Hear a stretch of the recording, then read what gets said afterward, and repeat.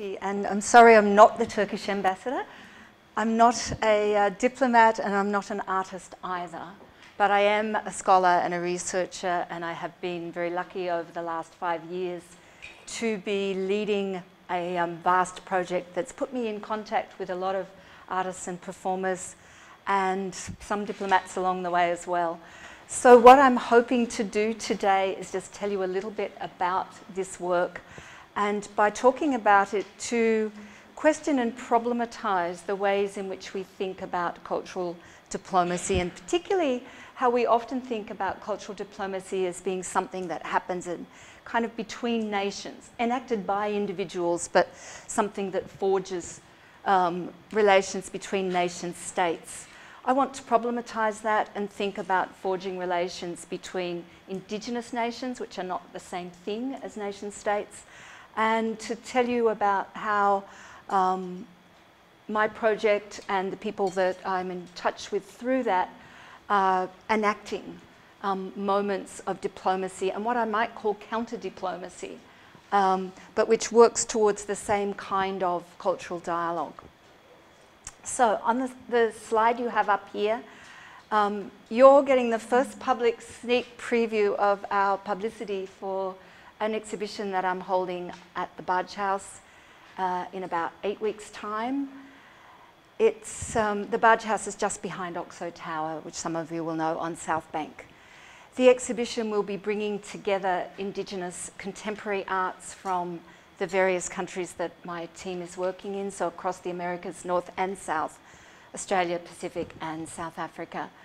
And we're approaching this as both a um, a public education project, um, the kind of arts event that we want to be um, exciting and uh, sensual and beautiful and all the things that we feel the arts do, and at the same time something that is a, a research um, by practice project insofar as the exhibition itself is a test of both how we might exhibit performance, which is kind of a contradiction in terms because normally performance is happening live, ephemeral in the moment. An exhibition is trying to capture something, project it, or place it on a wall.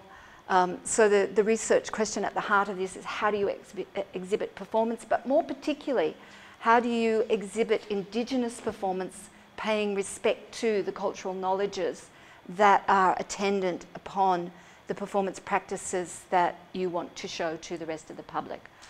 Um, we see this as an experiment. We understand that it, not all of it will be successful, but we hope that a lot of it is.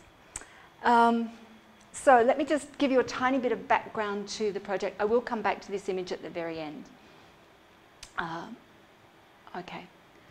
So the broader project is called Indigeneity in the Contemporary World, Performance, Politics, Belonging. It has been funded from um, the European Research Council from the uh, 2009 to next year, 2014, and uh, you'll see our website address up there.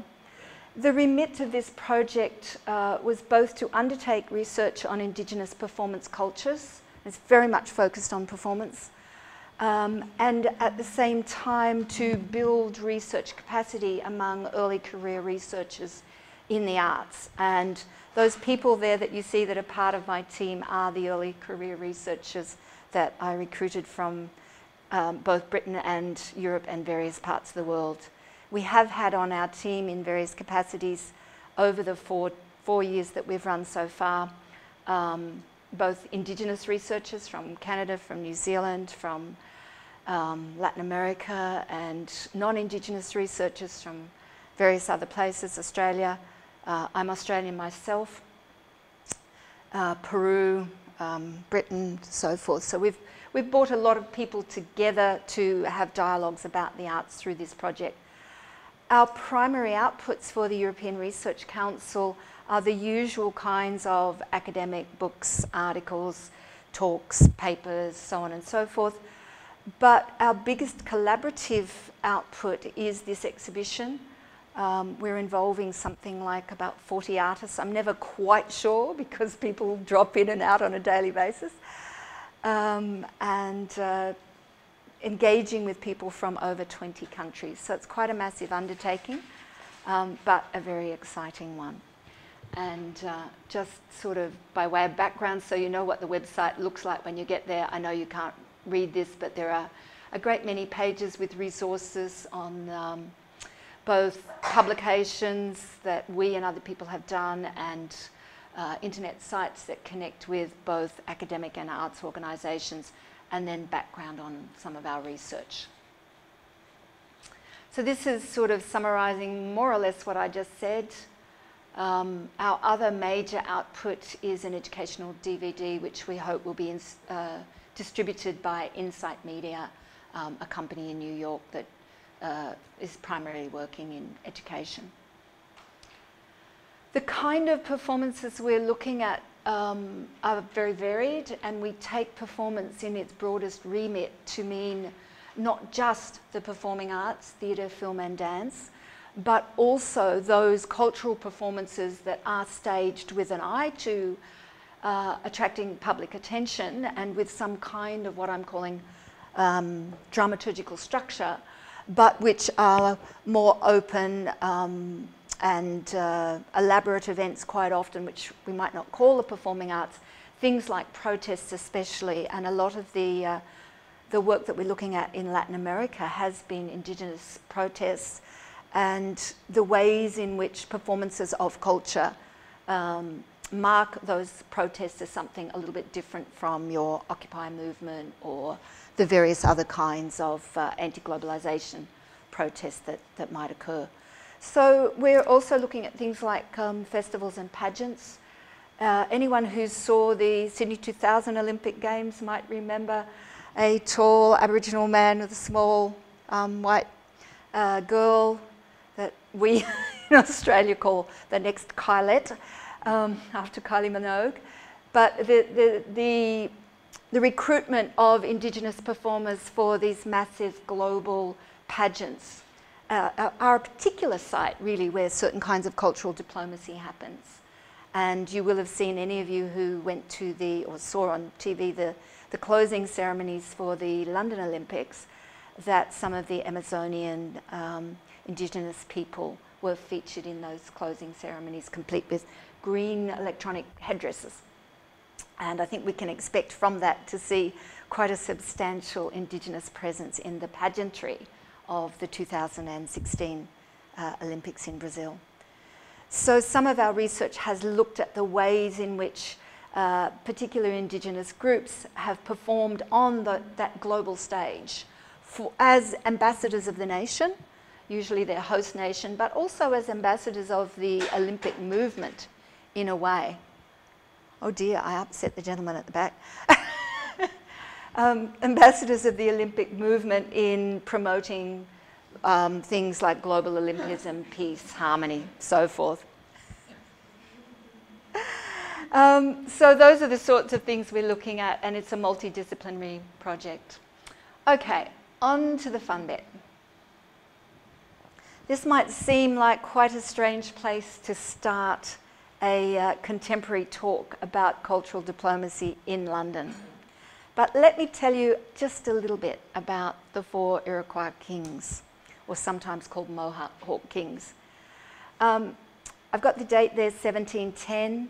Uh, these four Mohawk or Iroquois kings were recruited along with um, some of the British uh, diplomats and forces in the, the, um, the, what we're now calling the USA to come over to London to try and um, gather resources to fight against the French um, in North America. And the four kings came to London. They were not called kings in the US, of course, they were called um, chiefs. They came to London, they were taken out to see Macbeth, um, which is a really fascinating kind of cross cultural instance there. One wonders what they made of it. And they were um, introduced to members of parliament. They were part of the delegation that came to source more resources, more troops, more money um, to, to go and fight in, um, in the New World. And um, the National Gallery held a exhibition in 2009 um, that included these four Iroquois kings.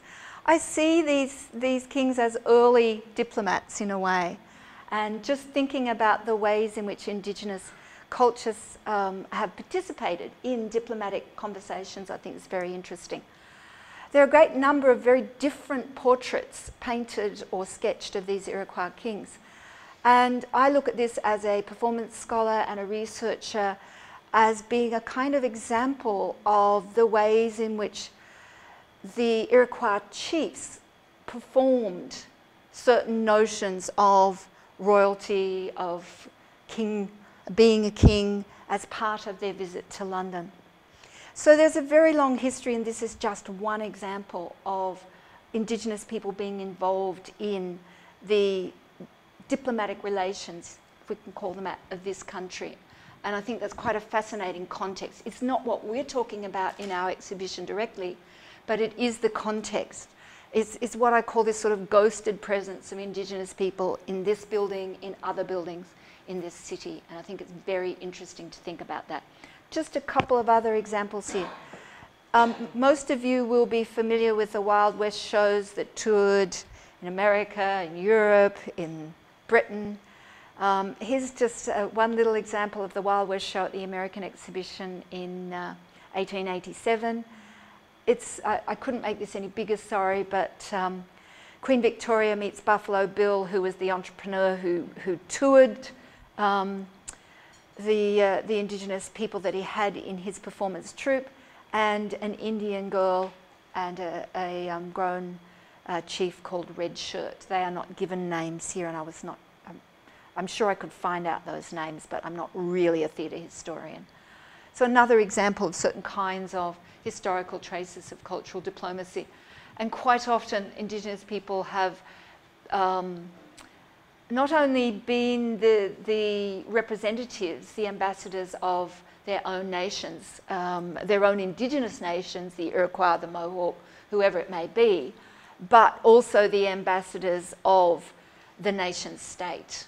And when we get to the contemporary arts, that's a really uh, important and um, salient aspect of the ways in which Indigenous theatre and performance and art circulates. Um, in just about a month's time, the Royal Academy here in London will be having an exhibition they're calling Australia. There is a huge proportion of Aboriginal Australian art in that exhibition uh, a much higher proportion uh, you will see within Australia, within most exhibitions. So the, the minute um, a group of works gets toured abroad in a festival or an exhibition, indigeneity becomes the signifier that makes Australia distinct from you know, other Western nations who, who are part of the, the, um, the kind of global circuit of westernized countries. So indigeneity is something that we draw on all the time to brand ourselves when we're abroad. And um, high commissions do this very, very frequently. Um, uh, but it's something that within the nation state doesn't always get the same kind of respect. Um, something to keep in mind. Okay, so when I was asked to think about cultural diplomacy, um, adapting it to my interests and my topics, these are the sort of four things that I thought would, would be of interest to you and to me. I'm not going to talk about them in any great um, depth. What I am going to do is show you some images of the, the uh, performance groups that we will represent in some way in the exhibition. And I think you'll gather from just the description of the groups, which will be much more interesting, I hope, to you, uh, how some of these conceptual uh, issues come into play. So I've just got them up there, you can read them, the role of Indigenous performance in strengthening intercultural relations. I should also add there, in sometimes um, working to modify, challenge uh, some of the stereotypes and the norms that accompany uh, our ideas about intercultural relations with Indigenous peoples. Indigenous arts as a means for cultural understanding, pretty straightforward, the, the same sort of thing that intercultural arts work I think always does or tries to do. Um, so part of the dialogue comes into that. And one of the ones that I've become very, very interested in as part of my research has been the role of art and culture in fostering a global community, and particularly a global Indigenous community. Um, and this is becoming extremely important in uh, our present time as we start to grapple with the scarcity of certain kinds of resources at a global level. And as we start to look at the ways in which multinational companies need to begin to negotiate with Indigenous peoples who quite often own the resources um, that many Western countries need. And the role of social media in fostering a, global Indigenous communities become extremely interesting in my field of research because it's a way of bypassing the nation state and some of the Western um, festival circuits and setting up cultural relationships between, for example, um, Aboriginal Australians, First Nations um, in Canada, Native Americans, and so forth. And I see that as a different kind of community, but of course, it's also um, very much to do with diplomacy. Okay. Um, so these are just a few images I want to show you to sort of ground some of the things I've been saying about the ways in which uh, Indigenous performance work acts as a, um, an ambassador for the nation. In the top left-hand corner there, a little tiny bit indistinct, I'm sorry, um, Sydney 2000 Olympic Games. The Aboriginal dancers you see there behind the small um, white girl, Nikki Webster, who was the kind of mythological figure of young Australia becoming um, a, a, culture, a, a, cultural and sophisticated nation. Those Aboriginal dancers, a thousand of them drawn from Northern Australia, um, Arnhem Land, and a great deal of uh, work gone into the um, recruiting of the dancers, the training of the dancers in the communities and then in Sydney, and then the presentation to the world in this global um, spectacle of a kind of snapshot of Australia. And of course here, Indigenous art is doing the diplomatic work of presenting Australia as a cosmopolitan nation, as a nation which um, has good relationships with its Indigenous people, as a nation that's in this case, working towards reconciliation, which was the sort of global overarching narrative of those ceremonies. Clearly, there are pluses and minuses to um, participation in this kind of global spectacle. And I don't actually see it as my job to come down on one side or the other. I simply see it as my job to analyse what those um, benefits are and what some of the, um, the risks or dangers are for the stereotyping of Indigenous cultures or for the containment of Indigenous cultures only within a certain paradigm, if you like, which is about spectacle. Um, the, the picture on the bottom left is the Vancouver Olympics opening ceremony. You can't see the figures distinctly there, but you can see the beautiful ice totem poles. I was uh, I had the privilege of attending that opening ceremony, probably the one and only of my life. I'm not sure I'd want to do it again.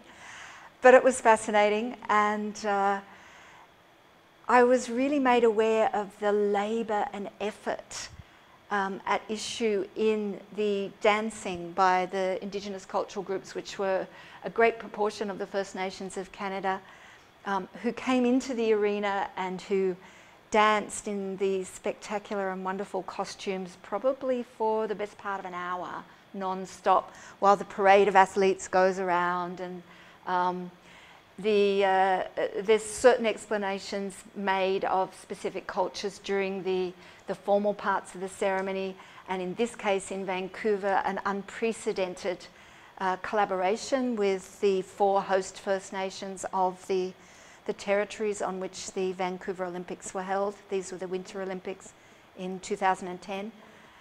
Um, each of those four First Nations um, had representatives to welcome the world. So they have an audience of something like 3 billion people, I think it is, maybe a little bit smaller for the Winter Olympics. And to speak in their own languages, the Lilwat, the Musqueam, um, the Tsleil-Waututh and Oh my goodness, I've forgotten the other one. It'll come to me. Uh, so, so this kind of intercultural dialogue on a massive glo- global scale is happening.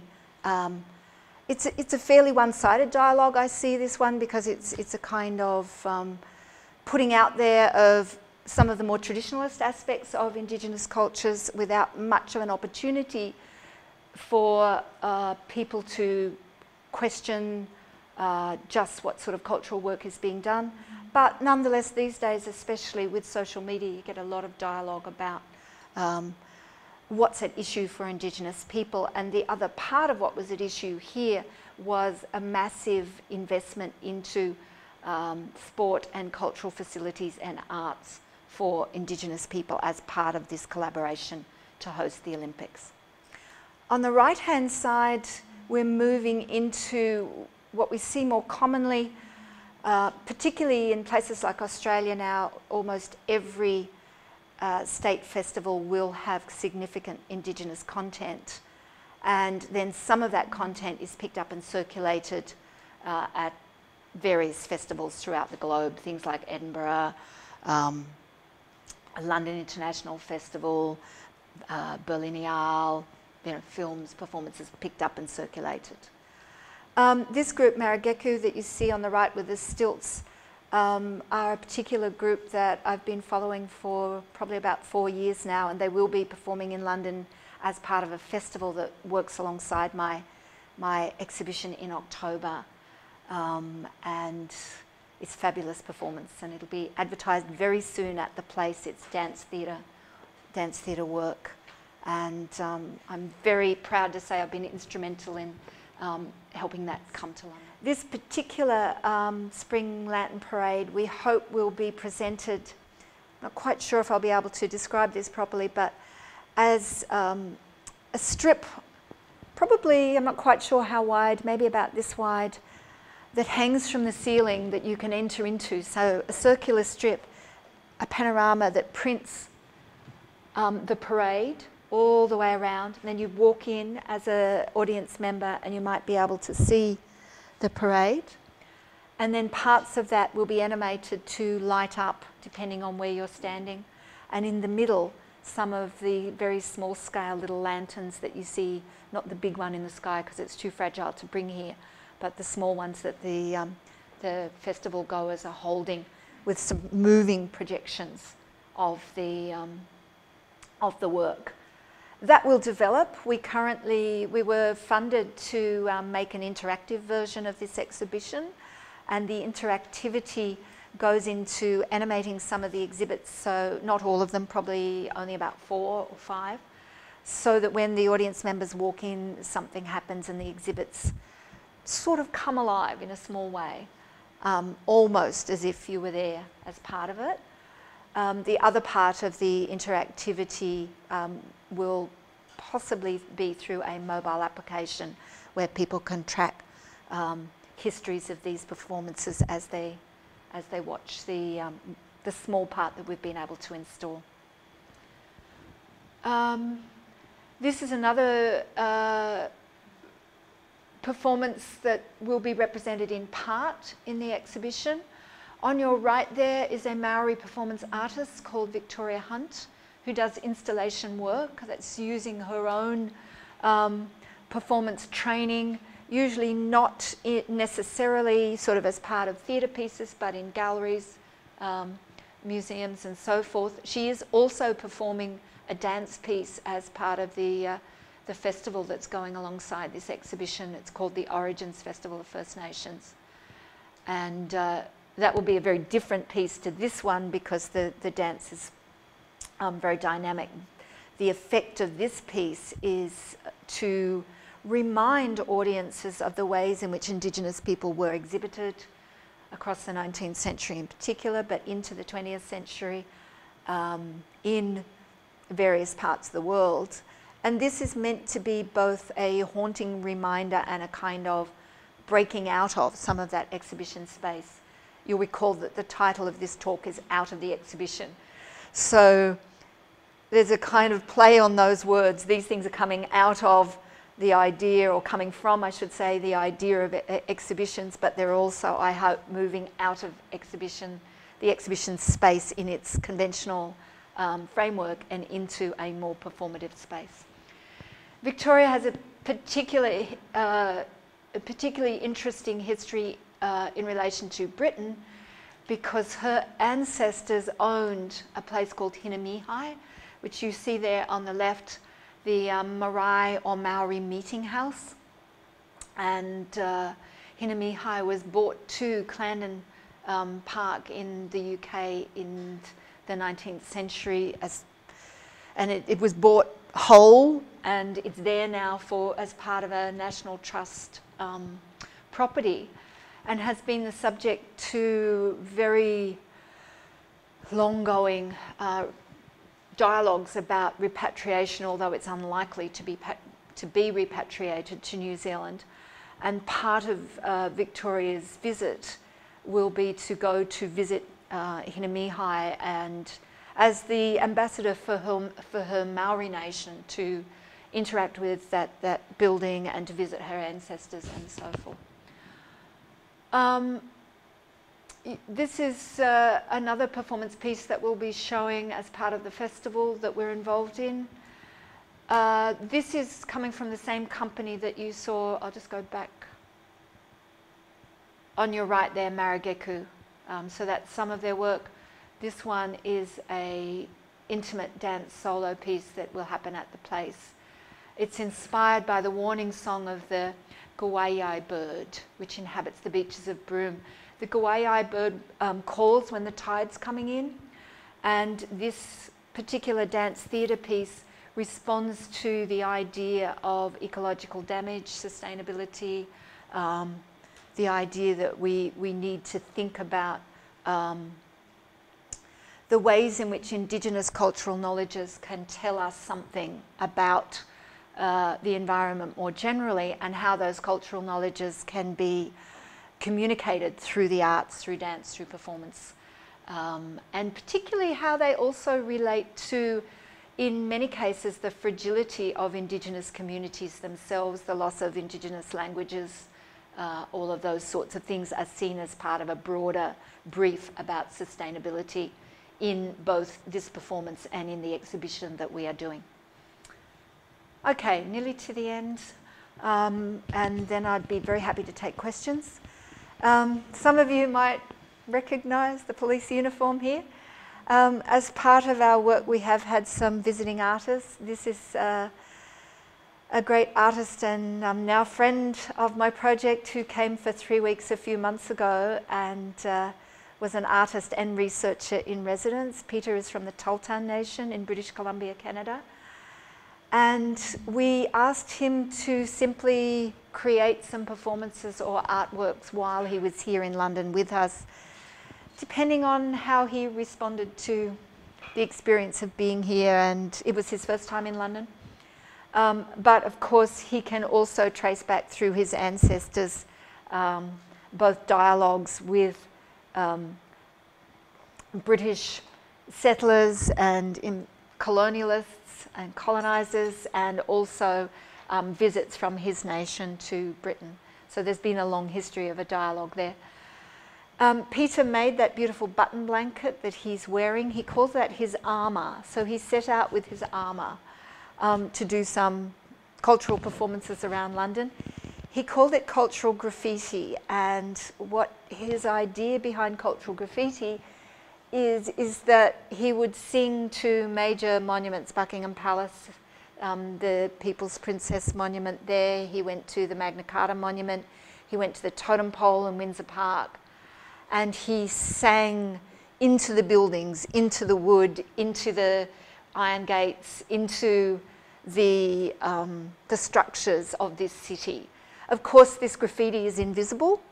Um, we recorded a, a, lot of this um, performance, but as you go around these places in London, you will not see it. What we hope from the exhibition is that people who see some of the video footage and some of the um, photo essay that we will have of Peter's performances in the exhibition, we hope that they might then just visit those places in a slightly different way, to listen, perhaps, to imagine some of the ghosts in the building. Um, so I see this as a different kind of cultural diplomacy. I think it's still about intercultural dialogue, understanding, um, but it's something with an interventionist edge. And I think we should start to think about cultural diplomacy as being something that should have an interventionist edge, that's not simply about easy dialogues between nations, but that can be about the difficult dialogues that we need to have, particularly over uh, things like how, how easily artists can cross borders, work in other places. I'm sure a lot of you uh, have been interested in those areas and perhaps even experienced yourself some of the difficulties. We certainly have in our project, I call the UK Border Agency as one of our stakeholders, not in a nice way, I'm afraid. that might be the bit you don't want to record. Um, here's an example of another intervention. Um, there is a large Maori community in London, a lot of whom are artists. I don't know how many of you are Londoners or would know that. Um, but this Maori community are often called upon for multicultural events in London, particularly Indigenous events. We've begun to work with a uh, wonderful Pacifica artist. She calls herself Rosanna Raymond, whose work will also be uh, featured in the exhibition. And um, I've given this, this photograph a caption. We took Rosanna Raymond and Alex Wells, who's, sorry, I'll come back to Alex, our other Indigenous sort of feature artist at the, the exhibition, to Canary Wharf, uh, Wharf for a photo shoot. Some of you will know that Canary Wharf is the business precinct of London. So we went there at five o'clock in the afternoon to do a little intervention. And uh, when we sat in the restaurant around the table, nobody took any notice of us. As soon as Alex and Rosanna got their regalia, their gear on, we were pounced on by three security guards. and who said Alex obviously wasn't from here and he'd better leave because he clearly wasn't involved in um, you know, the business activities of Canary Wharf. We talked them into letting us stay. They particularly didn't like us photograph him him in Can Canary Wharf, and it's outside public space. So after that, we took him to the underground um, and got a few runs of photos before we were thrown out of there as well. Um, I called this particular photo three-time world champion hoop dancer Alex Wells joins uh, afternoon rush hour on the London Underground, Canary Wharf 2013. Um, back to Rosanna briefly just before I finish up. So Rosanna does a lot of work um, in London. I, she sees herself very much as both uh, carrying out her artistic practice here and connected to her Samoan roots and the Pacific, um, Pacific community in London. And she's very often called upon to be an ambassador um, for anything Pacifica, Maori, um, so forth in London. So there's another kind of diplomacy happening here. Rosanna, Rosanna's work always has a subtle edge to it. Um, I've included this photo just, um, it's a photo I took personally myself on a visit to Chile as part of this research. And it was a reminder to me of the ways in which we need to keep taking account of the kind of work that art does as diplomacy, um, not only in those um, highlighted and well advertised festival moments in places like London, but also in the moment, um, and especially in response to particular uh, political and social crises. I'd actually gone to the parliament buildings in um, Santiago, Chile, because there's a big art museum very close to there, and I was supposed to be meeting a friend. I went to the wrong side of the building and got lost, and ran into this um, protest fortuitously because it was exactly what I would have wanted to run into. So I left the friend behind and kept him waiting for quite some time. This small protest was by the um, Mapuche in southern Chile, whose lands are being encroached upon, um, who suffer land grabs by multinational logging corporations in particular, and who, who have been subject to quite repressive policies as governments attempt to um, profit from collaborations with uh, multinational companies to extract resources from Mapuche land. I can't go into the history of the Mapuche peoples here, it would take too long. Um, but this particular protest I thought was just amazing. It responded to police actually firing rubber bullets at a crowd in which children um, were part of the protest down in the southern part of Chile a very small group had come up to Santiago and they'd gathered outside the Parliament House. And because my Spanish is very limited, I was only able to get a sort of précis at the time, but I followed up later. And they sat outside at Parliament House and then um, did what I, I call another kind of cultural performance. This was a storytelling piece. There was a leader, a woman who'd clearly done a lot of work with children, she handed out some balls of wool to the children. And one ball of wool was, for the, was blue for the rivers, and one was green for the ocean, and various things.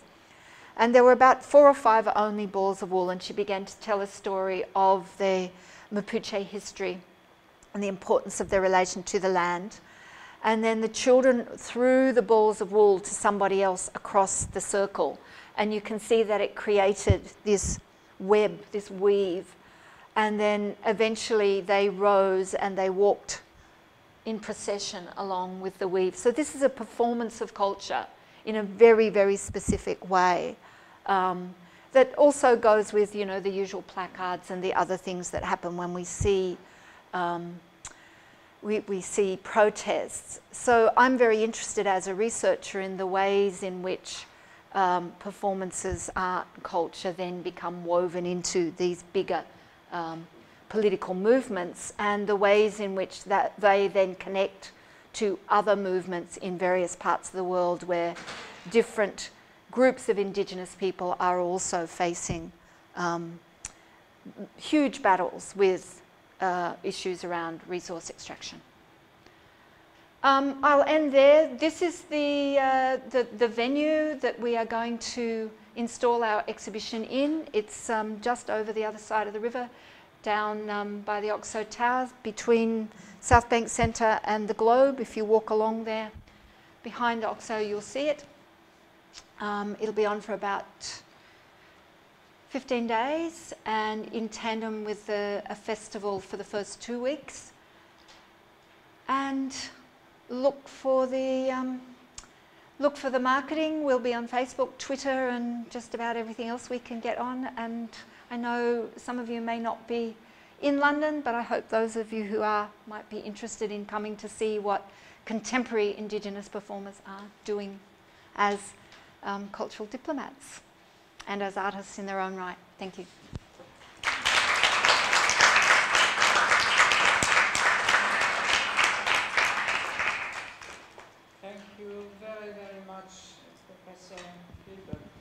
I think your um, presentation is uh, raising a great number of questions to uh, those uh, engaged in cultural diplomacy and uh, uh, would you call yourself uh, in one kind an activist? oh, I suppose yes. Um, quite apart from my own personal politics, which have been activist, uh, I would never have really thought of myself in that way until this project started. I have to say that the exhibition was an afterthought when I was putting in for the funding because primarily the European Research Council uh, is um, tasked to fund cutting edge research and it only I put in sort of a, a slice of funding for the exhibition because I thought we need to reach the public somehow. But at that point, I didn't really know what form the exhibition will, would take. I conceived it more as being something that would be about our research, um, which does include some Indigenous researchers on the team. We have a, a Maya anthropologist on our team, as well as um, various other Indigenous people. But I did conceive it as being much more of a sort of academic, educational kind of exhibition. And that's sort of what I budgeted for. Then, as the work grew and we carried out the dialogue that we needed to have as part of our research with the people who were making the art and the protests and being part of the performances, we felt more and more strongly that we didn't want the exhibition to be about our research. We wanted it to be first and foremost about their art. And that even though we were tasked to um, put our research into the, into the public realm, that the best way to do this was to do it via an inquiry that is what I call practice-based research. So we've got a research question that researchers, how do you exhibit performance? How do you exhibit Indigenous performance with an eye to keeping intact the cultural conventions, knowledges, aesthetics um, that are part of that performance. So that's the research question the proof will be in the pudding in a sense. We did, of course, have to go and find more money in order to both expand that and um, to, to get live people here. And we've been working with embassies, cultural funding bodies, Australia Council, Canada Council, um, societies, all sorts of people. It was never really part of my original brief to actually become a uh, uh, festival co-producer as I am now. Um, but it's been a very interesting experience and one that even though I had no particular background in this, this um, large-scale work as a director and producer of small-scale university performances over 15, 20 years, I know how to put on a show, basically. so um, so it's been a great challenge and very exciting. And I, I do see it as activist work. I see the arts as inherently having the potential for activism and that doesn't mean to say it has that, that the activism has to make it dry and boring. In fact, anything but. I think it gives it an edge. You only have to look at this picture here. You can read the activism. I don't know if you can read the subtitle. Sorry, I couldn't make this any bigger. The subtitle is Performance and Provocation in Our Times. And I really want to stress that this is for our times and that we need to think about Indigenous communities as a globally connected network that have a lot to offer to the arts. Anyway, you uh, open doors with the European Research Council giving uh, the recognition to your work. Yes. And that is uh, a great achievement as it very difficult to have financing. It was the first um, arts project to be funded by the European Research Council. At the time, don't quote me on this, um, I did wonder if the reason why they'd agreed to fund me was because they thought it was anthropology, not arts. Um, because we, we see everywhere in our research a tendency for people to think as soon as they see Indigenous people that it's anthropology. I didn't bother to tell, to set them straight on that. I thought, this is good. I'll show them that it's arts, not anthropology. but there obviously were some assessors who understood very well, otherwise I would never have got the money. would you say uh, Aborigines are only uh, located in uh, mainly Australia, or uh, don't you see them also living in uh, Europe? Look, there are Aboriginal artists practicing, or Aboriginal Australian artists practicing all over the world, if that's what you mean by Aboriginal. Um, there's a guy doing a PhD at Oxford who's a visual artist. There's, um, as I said, the Maori community has uh, artists here in London. Some of you may have heard of the filmmaker Tracey Moffatt, who works out of New York. Um, and, and in fact, Indigenous people who are um, top artists tend to be outside of their countries of origin often because they've gone abroad to make careers. Will often come back to their countries of origin. Um, the term Indigenous, I probably should have explained that at the beginning. It's a term that eh, it's both problematic and convenient. Within their own communities, the people that we are working with will call themselves by their um, particular band or group or affiliation or tribe, so they would not generally call themselves Indigenous, they would call themselves, as you saw, Tahltan Nation or Maori or, um, you know, the Pitjantjatjara people or whoever. But, uh, and then within their nation, they will probably have a more general term like Aboriginal for Australian, Native American for the US, First Nations for Canada, Indigena in certain parts of Latin America, or it could be something else. But the term Indigenous on a global scale is something that's been recognised or promoted by um, the United Nations, and that becomes then a, an umbrella that has as many useful sort of linkages as it has problematic associations because it is rather homogenizing. It does tend to suggest that there, there are too many equivalences between some very, very different groups and agendas. Um, but it's the term we chose for our exhibition and our work because of its international reach and its transnational links.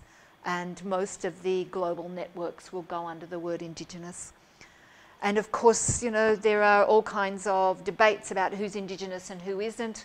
Um, Britain has its own Indigenous communities and defines them differently depending on who you're talking to. If you're talking to some of the Celts or um, people from Scotland, that term has also become useful. For them, it's also become dangerous and problematic in the, the hands of right wing um, sort of groups who, who wish to appropriate the term Indigenous for um, white populations as a way of keeping out non-white groups. So we, we realise that our audiences, some of them won't have a clue what the term means. We hope by the time, we hope we can draw them into the exhibition and by the time they finish, they may have engaged in some kind of cultural dialogue. And we will have some live performances as part of the exhibition, very small scale. Yeah. So there are one question, second question, two questions, yes. We are late in our time schedule, but go um, ahead. I, I, just want to say, like, I really appreciate what you did. I think it's absolutely fantastic. Um, the way you link in the theory with um, kind of the artistic notions and being extremely abrasive with what you do in the artwork, I just think it's absolutely fantastic and a much needed necessity right now. I mean, I do sustainable development, and it's amazing to see stuff like that. Thank that's you. What, that's what Please come to our exhibition. Yeah, I would love to. Fantastic. Please talk to me later. so no question, come on. Thank you. uh,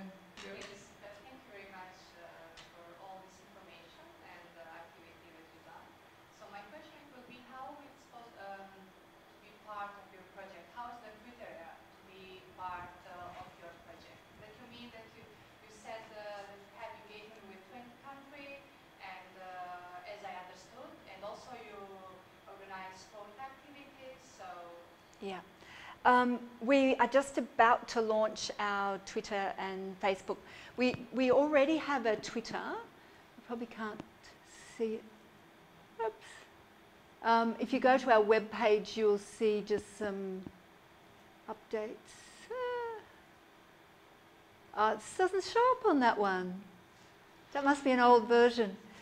Anyway, on that, if you go to the webpage I gave, on the website um, down in the bottom right hand corner, there's some tweets from our Maya anthropologist actually who tweets pretty, pretty regular. He'd love more followers, so he's building up some followers.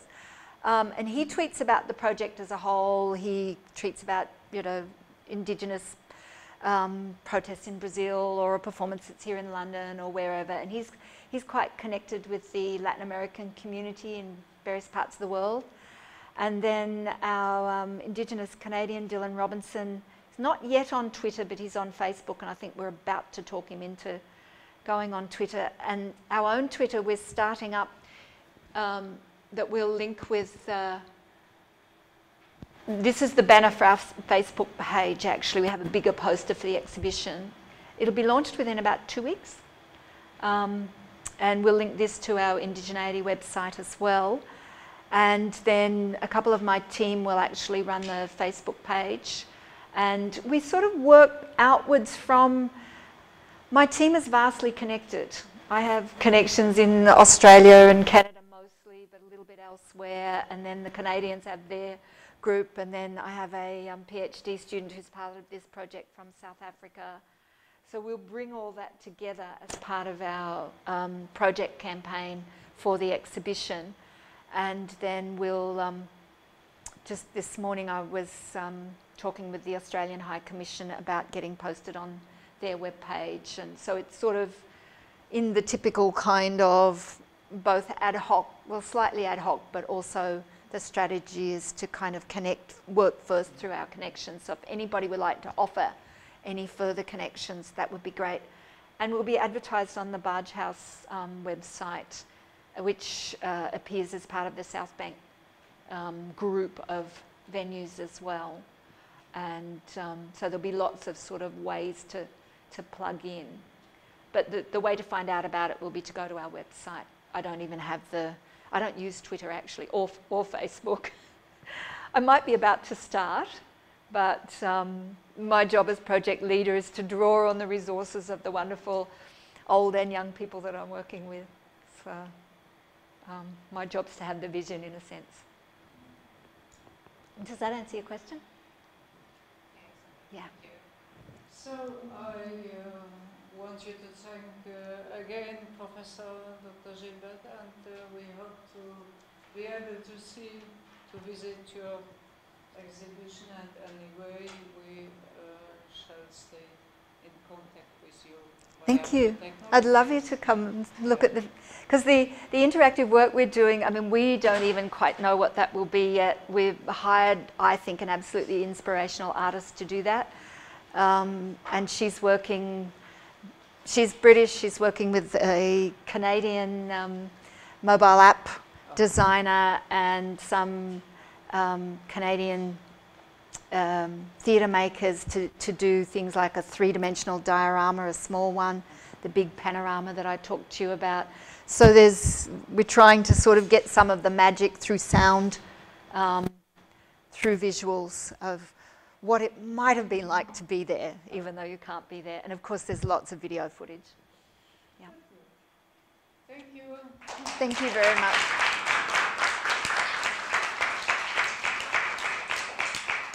I'm sorry that I've cut into your lunch hour, but we did start.